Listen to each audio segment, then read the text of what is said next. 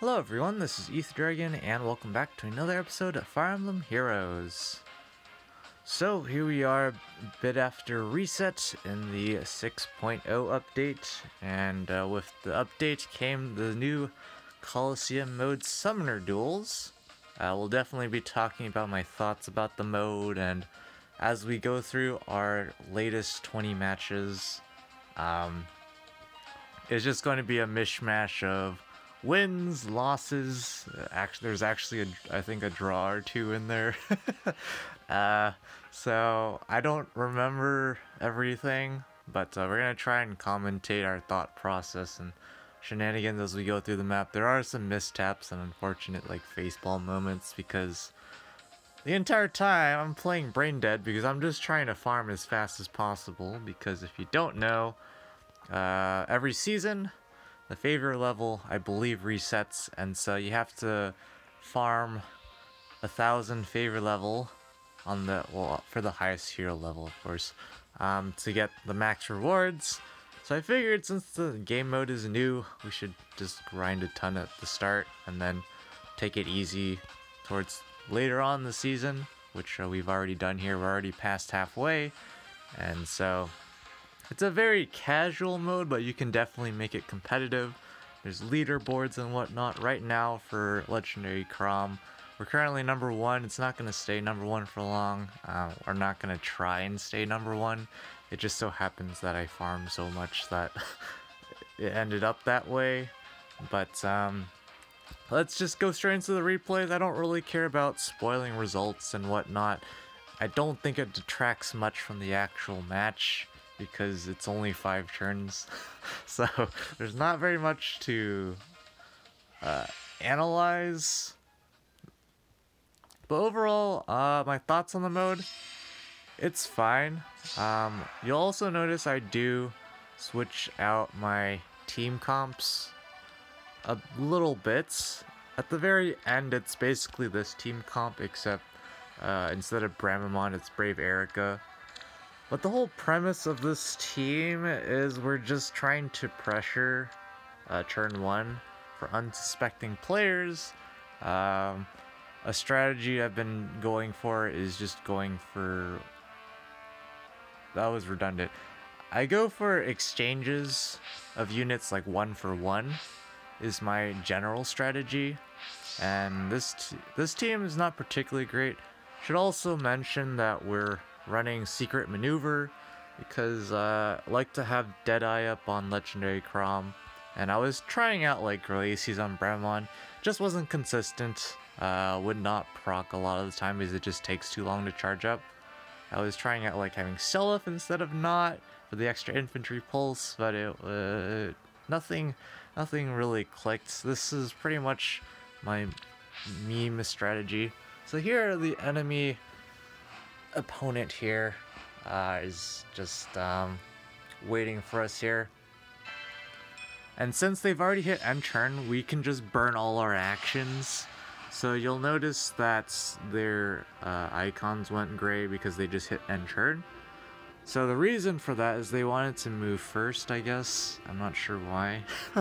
but uh, there's some mechanics in this game I won't mention this video, I'll just totally assume you already know how the entire mode works, even though it just literally came out a few hours ago.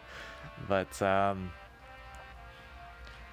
But yeah, because of that, you're just, I'm just free to use all of my actions. There's no drawback to it. So you'll, I think you'll see in a future match, we actually just, uh, goof and hit end turn way too early on accident. So we just get rolled, but here we're getting set up. Um, I save Legendary Chrom from last tier, but unfortunately it doesn't do a lot to uh, Gatekeeper. But that's what this turn is for. Uh, we set ourselves up to uh, one round KO Gatekeeper. And it's basically like a one for, it's just going to be a bunch of one for ones here. Uh, there's not much to really say here. We're just going for one for one kind of deals. So they take out one, we take out one. But the key thing is that we we have the advantage because we're holding on to Legendary Chrom. And because of Secret Maneuver, Chrom charges up Deadeye, that's why I had him leave, so he could pick up the one-shot Niffle. So of course, um, Xane is able to uh, take out Chrom, but we take out Xane, and now it's just Sheeta against Nils and Not, and that's just GG. so that's essentially the main crux of my strategy. As you'll see, it falls apart pretty quickly. Overall, I do like the general premise of the mode. It is a more casual based mode in the aspect that there's no real rewards for whaling other than, you know, you can beat your friends in 1v1s easier or something. I don't know. but, uh, it's mostly for leaderboard flexing, which is, you know, it, it's cool and all, but it's not necessary. Like, a free-to-play player does not have to be worried that, oh no, I'm not going to be on the leaderboards kind of deal. But if you do make it on the leaderboards, it's free-to-play, you know, it looks kind of cool. uh, but here, uh, the main thing we did here was set up not in such a formation where we're ready to threaten their units and since I set us up so that we have we had more actions remaining at the end of turn one we get to go first the start and or turn two. That's how it how it works. And so because we're running even pulse tie and nils we're just able to pick up the one shot on ascended arm.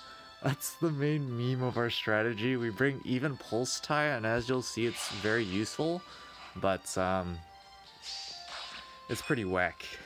So here we get a two for one, and that's just too much for them to handle because their units are on the more frail side now. We have Bramon chilling on the back as well. So it's pretty much just GG at this point.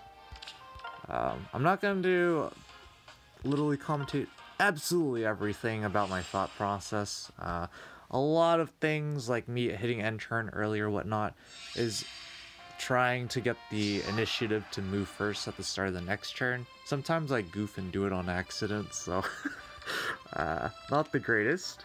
We're up against a full plus 10 team here. We don't have a full plus 10 team here. We're just derping around with our jank team. I should stop showing my team here because I literally don't change out skills. It's just units uh, that I change out. So there's not really much different. We're just going for the same standard strategy a lot of people are adopting for uh, the a save strategy. Of course, the thing about this mode is you can only bring one save one unit with a skill that grants the savior status. So that allows you to do some things. But uh, I do find that uh, when, when our even pulse tie gets countered, we pretty much suffer the whole way. That's pretty much it. Here, they're basically stalling out at this point because they have the advantage in terms of capturing the main area uh, as they get the two points there. So their plan is to stall, and I realize that. So my game plan is I have to go set up a situation where we can get a nuke off. And so what I what they do here is they just keep flinging their units back, but that allows me to push forward and give uh, force them to have less space. But I accidentally goofball here and uh, actually allow them to pick up the kill on Nils. I believe they so chose, but they didn't go for it. Not sure why. Uh, they really want to just be going for exchanges at this point because exchanges only benefit them. Thanks to Not, we're able to snipe down uh, their Claude there. Unfortunately, Bramimond can't actually take out Helbindi. We end up wasting our Glacies to take out, uh, whatchamacallit. We end up wasting our actions to take out Gatekeeper.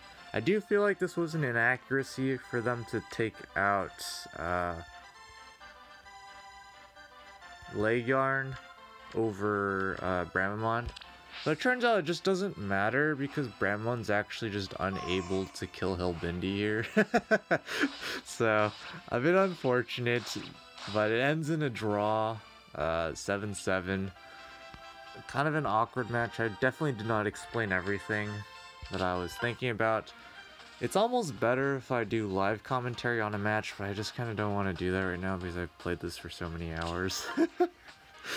uh, there's a lot of balancing issues with this uh, mode, but overall, if you just approach it as a casual mode where you can just play against other people live, it's it's fine. There's definitely some depth of strategy. You definitely can't use a bunch of traditional uh, strategies so that's nice. But there are some already meta strats coming up that we will not talk about in this video. This is just a video, probably a one-of video. That's just going to be super long because there's 20 replays to go through. But at this point, we're just setting ourselves up, um, staying out of their threat range because we're more of a threat to them than they are. Because we have the ranged units and not, and they don't. They decide to approach us, which was an interesting move. They didn't do their damage calcs, I don't think. Of course, you have a time limit, so doing damage calcs is not great. But I was just doing my damage calcs here. so, I already knew how things were going down. Like how Brave Ike was unable to take, would be unable to take out Bramimond. So that we could use Bramimond as a way to uh, chip down Brave Ike. So Ascended Legion can pick up the kill, uh, which is pretty nice. And it's basically GG at this point because we have Legendary Chrom sitting there, so they really can't do much. And he even doubles Amelia here, so it's just definitely GG. Just, just uh, basically complete wipe. Um, Yuri is definitely super popular right now. Just because he has three movement and Canto. Canto is very useful in this mode. Mobility in general in this mode is just super solid. There's not much to say about that. Duo skills are actually pretty useful if you can set up certain situations. Dual Corn does it better than Dual Lyn because just because Dual Corn is 3 movement. And this map doesn't really punish cavs that much. It's just the two trenches that don't really matter if you're going mid. Um, so we just burn our actions and uh, I'm pretty much just waiting for them to approach because the problem is we have to wait for Ascended Fjorm to uh, Drop Ice Mirror, I think, to one-shotter. I could be wrong about that. But they kind of over... I kind of forgot here that uh, Yuri uh, casually kind of has an ability called a uh, Wind Sweep. With so with Honorable Blade and attack speed solo 4 and 3, uh, he's just super fast and just wind sweeps. I, I, was expecting Chrom to counter and then you didn't counter. I was like, what's wrong? And yeah, I, I just blanked out on wind sweep. No idea why. That just cost us the match there. Just that one inaccuracy. But we were honestly just in general in a bad spot because we just have to wait too long. The problem with even pulse ties, a lot of units like Yuri do accelerate their re-accelerate their specials uh, with timed pulse. So that kind of screws over our even pulse tie strat. Uh, it's over at this point. Uh, there's nothing we can really do because we're just behind in the one for one exchanges and Ascended Fjorm is still there.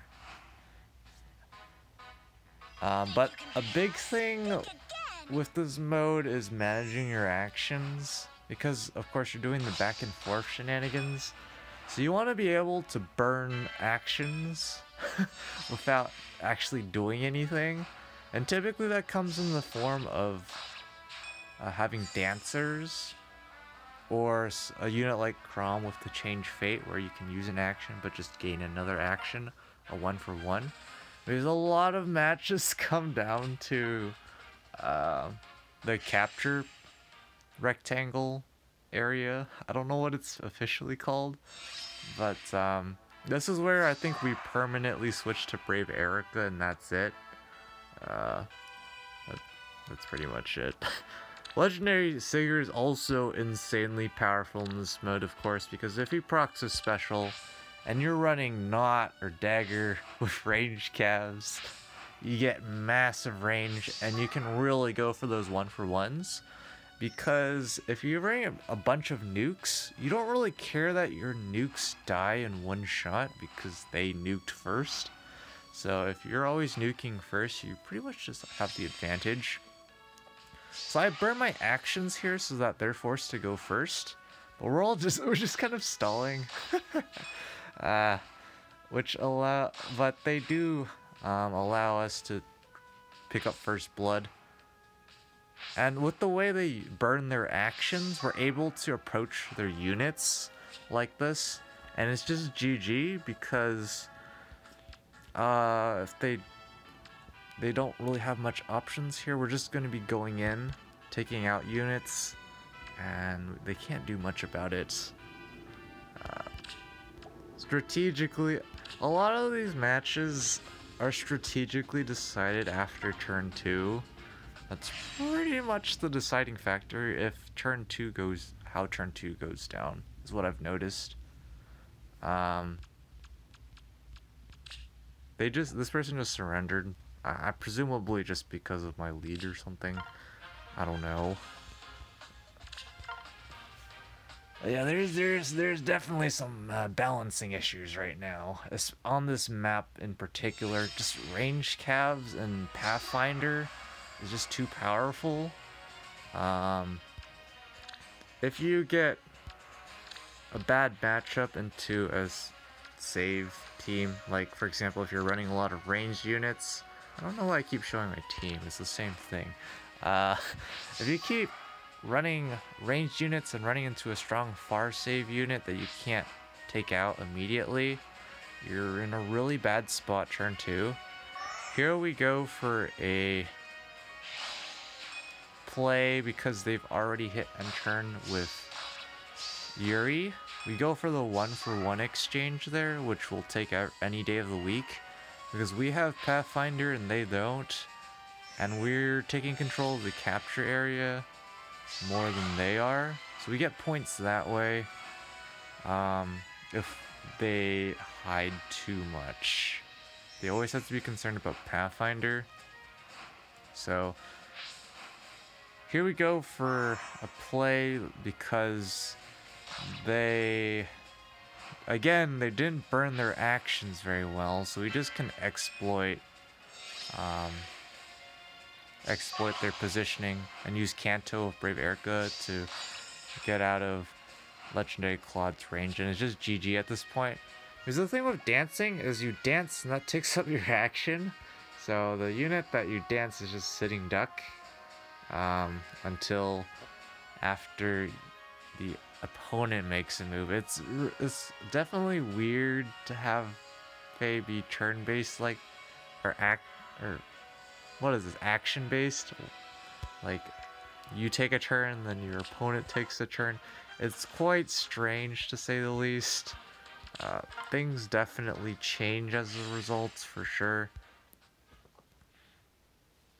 But I imagine we're going to see pretty standard strategies. Kill power, is generally a must.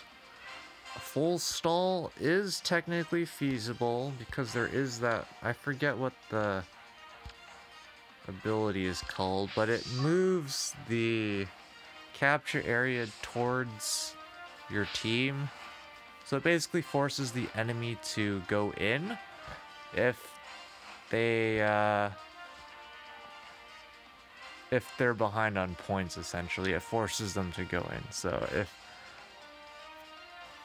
if you're in that spot, you have to go in. It's pretty much a loss unless you can you have a lot of mobility and firepower. Uh, but here, again, they don't place their units well, so that allows us to just place not here for free. And so we get a snipe down on soap. Again, it's going to be a one for one. I'd, I was willing, of course, going to sack uh, Ascended Leguarn, but they just uh, they dance Legendary Leif here. But that's their last action, so um, not entirely sure why they did that. Is that just allows us to go for more one for ones, which is more beneficial for us than them. So here we pull Brave Eirika back because if someone wants to take out Brave Eirika, they're in range of Legendary Chrom because no one has uh, Canto. So they have Legendary Claude pick up the kill, but Legendary Chrom has Deadeye up, so he doesn't care about that damage reduction from Fallen Star. So it's just GG at that point. Not really much they could do at that stage of the game or the match. But yeah, every time there's like a near save unit, we're basically almost always winning on the spot unless we goof. That's pretty much it. Brave Eric, just Brave Eirika's pretty nice in this mode just because of her effective damage and of course her ability to one round KO units pretty decently. Uh, her main problem of course is her bulk and her mobility. She is a melee cav after all, and in this mode, range cavs are pretty strong. So here they don't use their uh, burn their actions very well, so we can just pick up that free kill on Dual Corn. It of course is going to be a one for one sack uh, of course, Leg Yarn is not going to stay alive here. But it's that one for one exchange, so we can apply more pressure um, with knots. We actually pull the change fate here because of course Dualin used her action so she can't actually attack any of us. So at this point we're threatening uh, Robin or Fallen. This is not Fallen. What is this alt? uh, one one of them one of the Grimas. Uh, I'm blanking so hard right now. Zero out of ten. But uh, yeah, we're threatening that. We're also threatening Dualin with Chrom. It's uh, GG. But yeah, our main strategy again focuses on pressuring turn one and going for favorable one for one exchanges. Sometimes you can make a play where you essentially, if, if you're familiar with chess, it's kind of like gambiting a pawn. You sacrifice one of your units, but you get the initiative for doing so. Uh, which is kind of awkward because of course you're you're getting attacked first. So theoretically, if it's just a constant one for one exchange, you would lose, but it just depends on the scenario. So here we're just being careful to uh, pressure the enemy units while staying out of their threat range. And so they go for an advance on our units here. I decide to go for the one for one exchange off of Brave Eirika as we want to get rid of that Canto option as soon as possible. As we can go for this uh, one for we can go for this exchange and that's not one for one um, because we can just leave with Chrom. Nisala here is unable to one round KO Chrom, so they dance Atri trying to snipe him down, but we can just leave. And now we can advance. I actually did make an inaccurate move there, putting Not in that location, but we're just going to ignore that. uh, because I forgot they were going to move first. so, they just pick up the kill of Atri and gets Canto away, and we just can't punish that. Actual L. What we can punish is that play, because that forces them to uh, advance their units like so, and we just take out Atri and it's GG, because, again, Nasala can't take out Chrom. So, we just get the free kill on Legendary Azura, and it's over. There's definitely a lot of things to, more things to analyze about these replays, but again, we're recording 20 replays. I don't want to sit around and do an in-depth detailed analysis on each one. Uh, that would be too much effort. Here we have a team against uh, all Micaiahs, which is pretty cool. Definitely see a lot of theme teams as well, which is cool to see. Um, the, the thing with this mode is that it generally people basically, upon reading the game, the, the mode mechanics, kind of wrote off Gale Force as not viable because you only get six total actions. And like using your dual harmonized skill takes an action, dancing takes an action, uh, moving after proccing Gale Force is an action. So you don't actually, you can't Gale Force train uh, in the same turn, that is. But there is definitely some merit to Gale Force if you can apply the pressure, for sure. Uh, here we are just doing some shuffling around. And we have the advantage again because we have not, and their range is much more limited than ours. Uh, if you're wondering, Ascended Legion can't take out either of these units because damage reduction. and then of course they have effective damage on the counter, so uh, that's never going to end well for Ascended Legion. I kind of just brought Ascended Legion just because she's a bow cab that kind of has a decent attack stat and speed stat. That's pretty much it. I'd much prefer... I probably should use like Legendary Leif or something. He'd probably be better.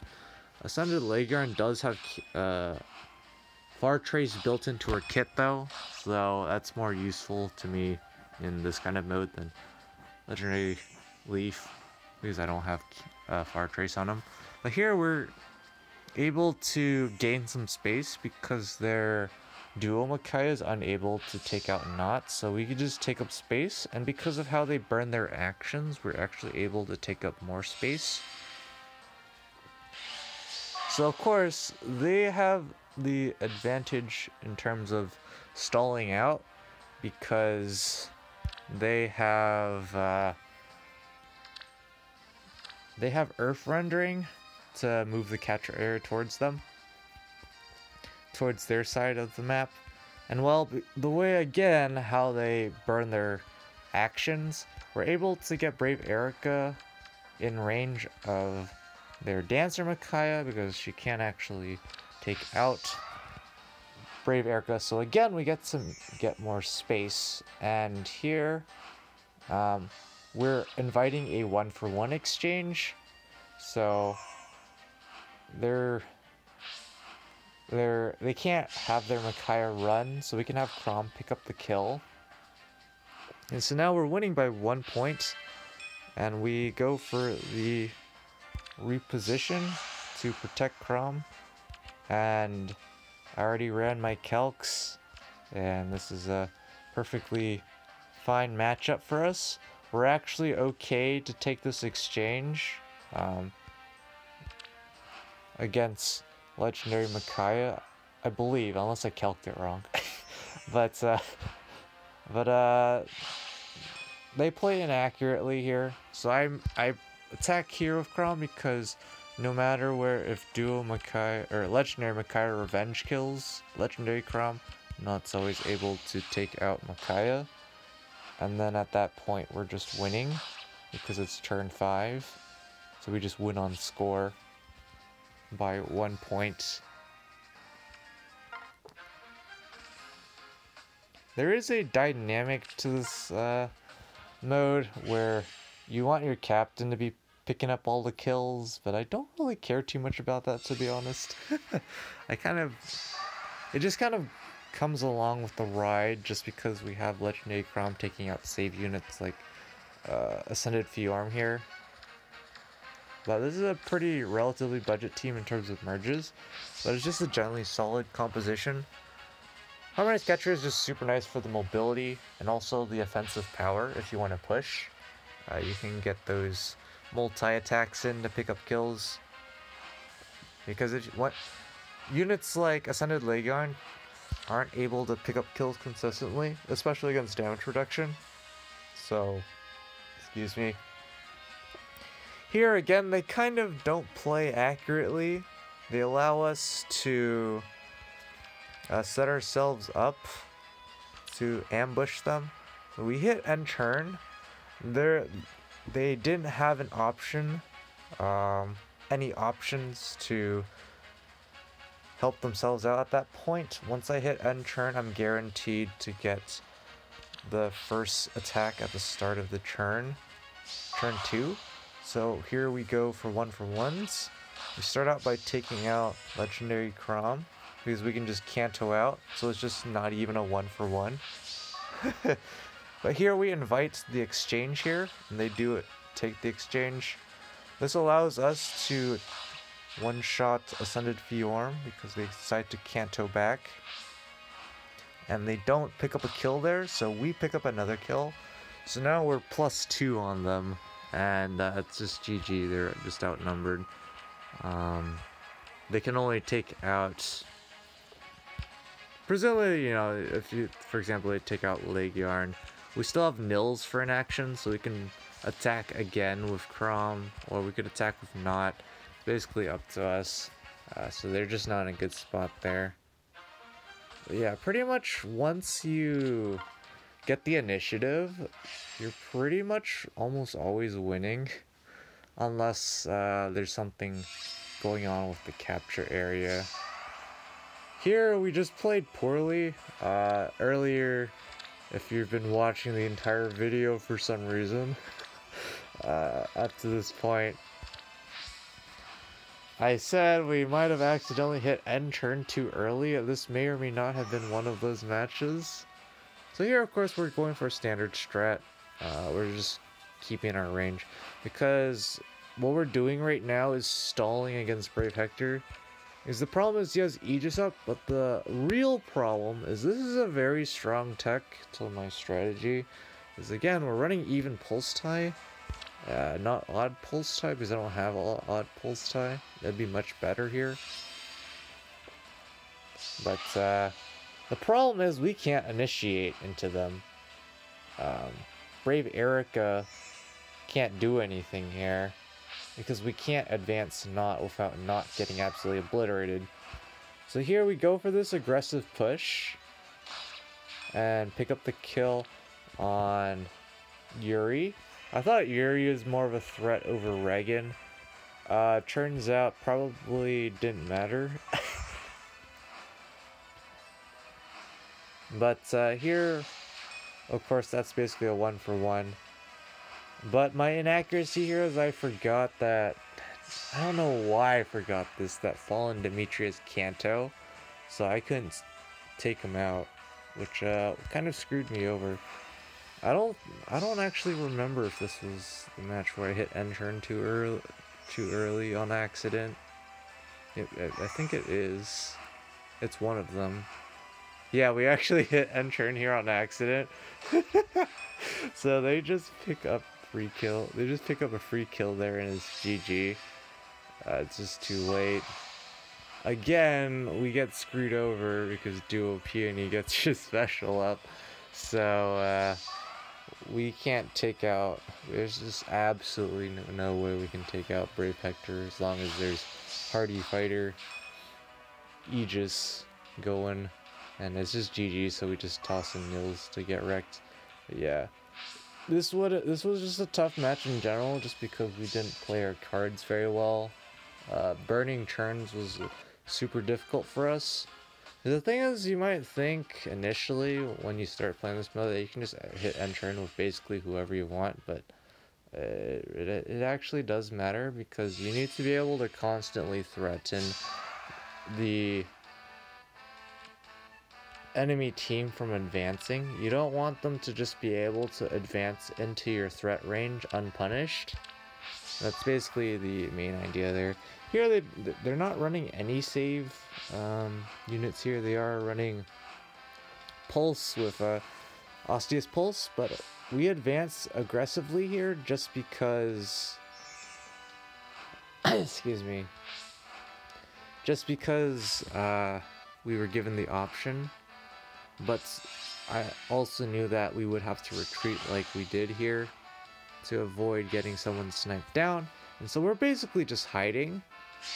They decide to go for the op or they offer an exchange and we go for it. I don't think this was the correct exchange. Um, but, you know, it, it kind of works out. I decided to gambit off uh, Nils, if they said, I don't even know if they could take out Nils. I wasn't paying attention. They actually might not be able to. Could be, might not be correct in that, but I believe they couldn't take out Chrom, which was the main problem. because of course uh, there's 9 less attack there because of low attack defense and of course there's no penalty on Chrom so it's only plus 7 attack. They are running Hardy Bearing though. One thing I want to try down the line is Vantage. I do think Vantage is pretty strong. If you can start eating up opponent's territory because you just slap a Vantage unit down. The problem is that Vantage unit has to be able to deal with damage reduction. Because a lot of people bring units that have well damage reduction. What a surprise. like Brave Eirika on initiation. But there's there's plenty of possibilities for that, so here of course they have their Ascended arm, And so we're just doing our usual setup. Zero idea why they use their duo skill here. They don't need no follow-up for anything. I guess they just use it to use it. I don't know. It is one way to burn the churn without doing any, without actually moving your units, which is actually a really relevant thing in some matchups. But here we troll them with even pulse tie and pick up the ultra one shot. And so we're just inviting an exchange of units here. We take out Yuri because he's the biggest threat to us at this point. Now we can just camp uh, although they have the whatchamacallit, they have the score advantage, so that's why we have uh, Brave Eirika, because that Canto is super nice. And now we're inviting another one for one exchange. They accept, but they don't really have any options because they have to go in because they are lose they were losing on the score, so there was nothing they could really do there. If they didn't advance, we just stall the turns out and win that way. So, the score thing and stalling opponents out is definitely a 100% viable strategy, for sure. Uh, I I've used it a couple of times. People have used it plenty of times against me. It's just a part of the mode that you have to deal with. So, Again, same start. Most of our starts are the same just because we're trying to apply as much pressure as possible, but we're up against an opposing team with uh, Pathfinder. But because of how, again, they position our units, we get not into position and they decide to back up, which gives us a space advantage and setup advantage. Uh, so we decided to burn all our actions because we gave them the option of going first if they wanted to. They declined and so we just have the one for one exchange here. They we can't follow up after that, but we do go further to change fate, which burns our action and threatens Plumeria. And we now run away from Ascended Legiarn. And we're in a pretty good spot because we have most of the capture zone. We are take, getting points for the capture zone shenanigans. So they advance Ascended Legiarn to go attack there, or just to be in range of our units. But again, we're gambiting a unit there. Uh, it's just another one for one exchange that only benefits me because I'll be picking up the kill with Legendary Chrom, which gives plus one points compared to picking up a kill with any other unit. So here, again, we go for the Gambit, and uh, I intentionally set it up so we have we get the first action at the start of the turn, and at this point, it's just a, it's just not a great spot for them because we have the kill power and they don't. And we have the score advantage. This is where we just stall. We just run. uh, because they can't win at this point. Their only way to win is to take both of our units out, and they can't do that. So that's just GG on turns. So getting the score advantage early is definitely important. I would say for the most part, some strategies don't care. But if you don't have the mobility to chase down a enemy team that's running away because they have more points than you, you're pretty much just screwed. uh, nothing more to say about that. But this team played very pretty pretty decently. There, I think they did make some mistakes though. Um, I made a mistake here. I put Brave Eirika in range, not realizing that they can burn actions, uh, and still fling up like Duo Corrin or Legendary Lilina in. So I was like, wait a second, that's not good. Uh, but they don't quite take advantage of it. Uh, presumably because they, they just didn't have enough actions to get a double kill with it. So they, they probably didn't feel like it was worth it. But at this point, uh, they just pick up the free kill there. But it's a one for one exchange.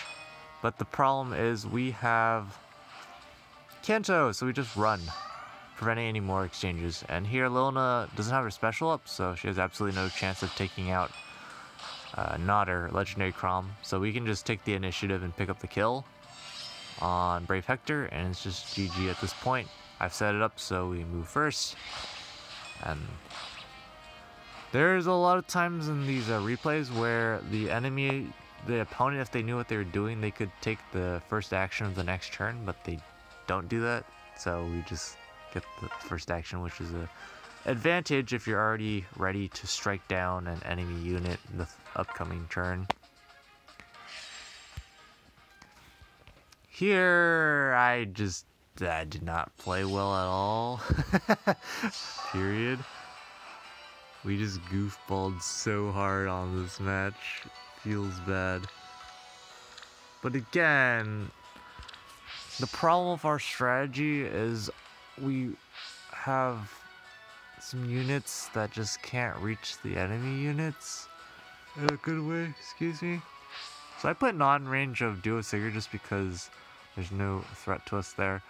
Um, I hit end turn there just so we can guarantee we get the first action and start the next turn, but then I forgot so that they could just repo out, or just not even repo, they just leave. so, kind of a small problem. They go for the reposition with the duo skill.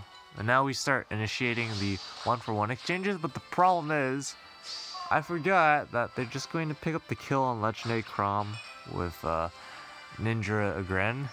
So they get four points for that. So already in a bad spot because they pick up, they're able to pick up another kill here. And the thing is they have Canto.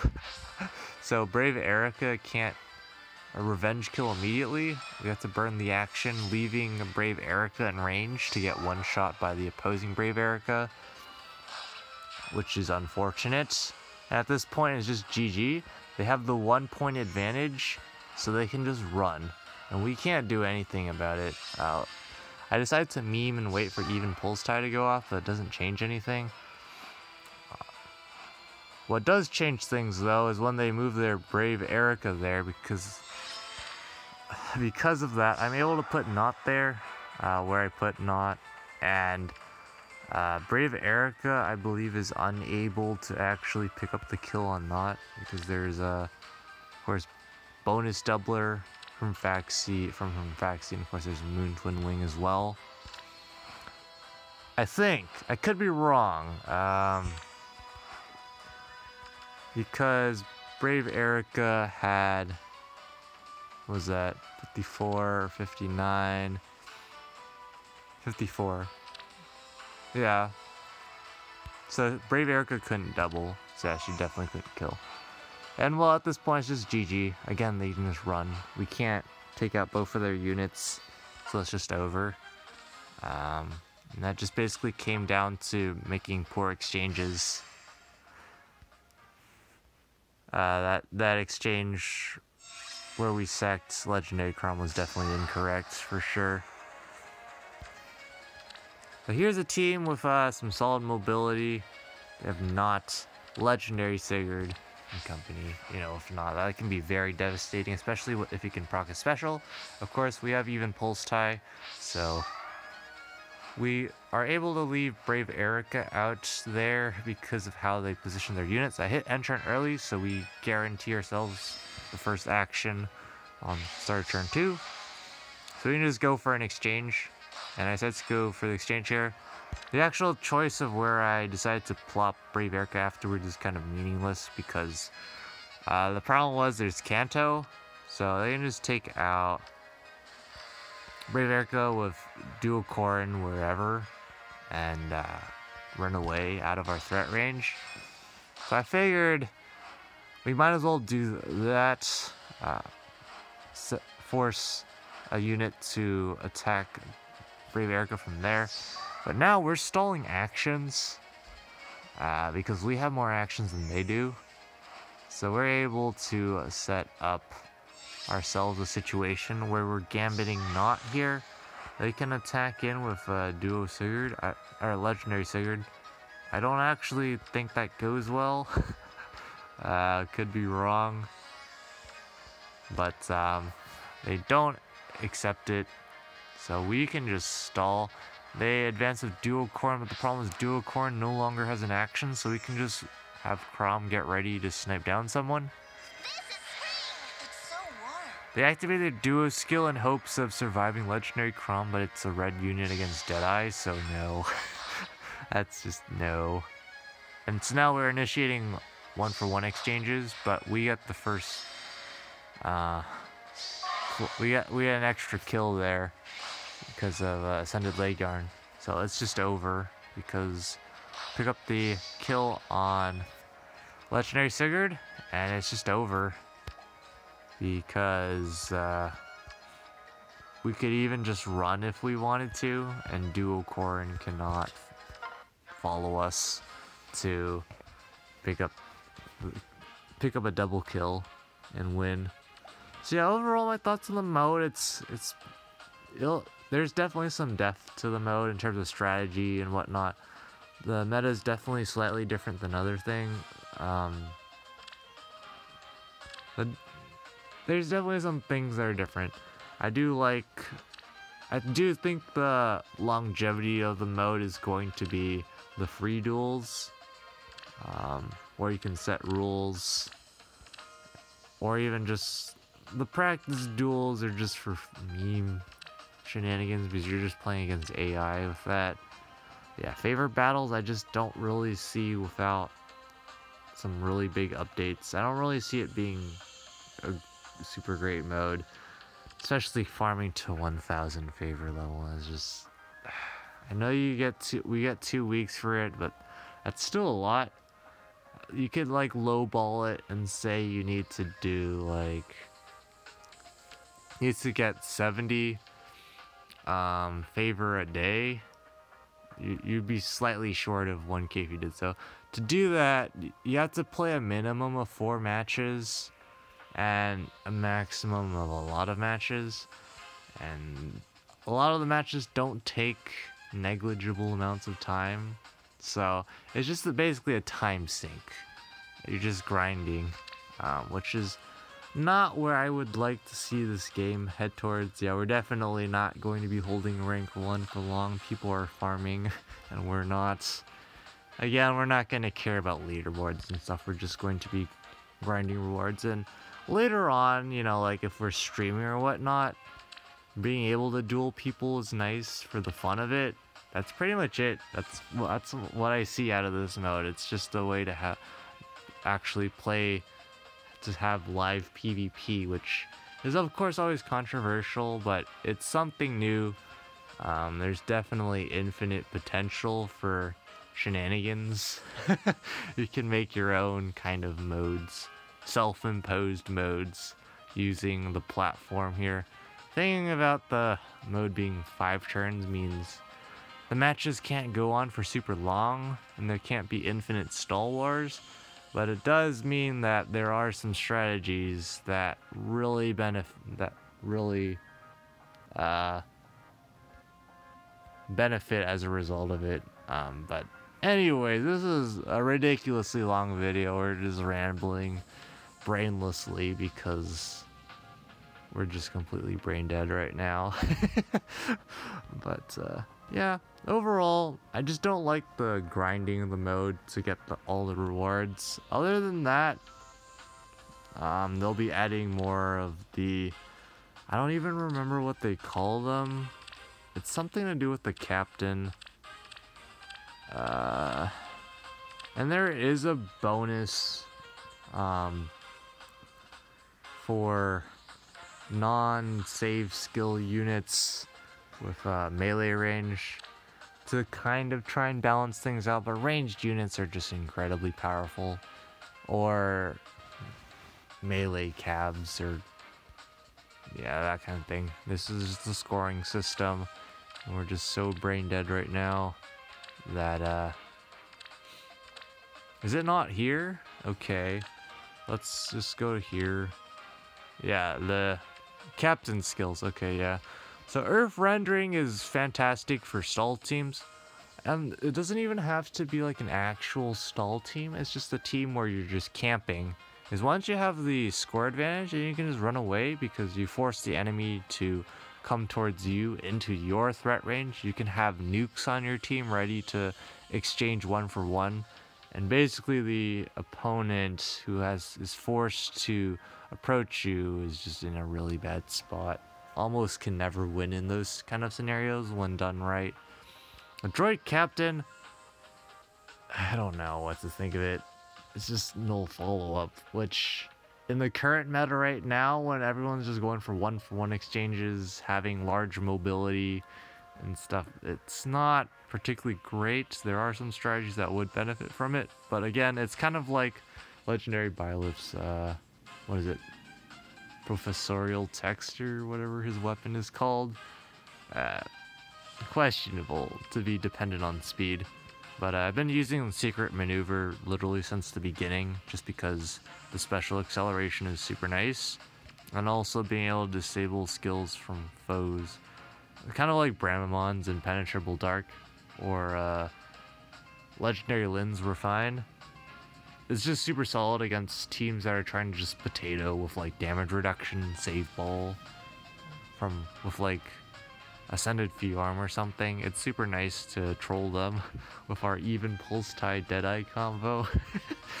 but uh, anyways, this video is absolutely way too long.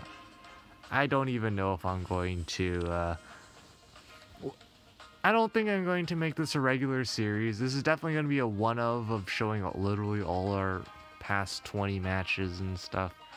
Um, just a few I just toss in a few thoughts here and there about the matches, but yeah, let's just end the episode. That's gonna be it for this episode. Thanks for watching. As always, this is Ether Dragon, and hope to see you all next time. Bye.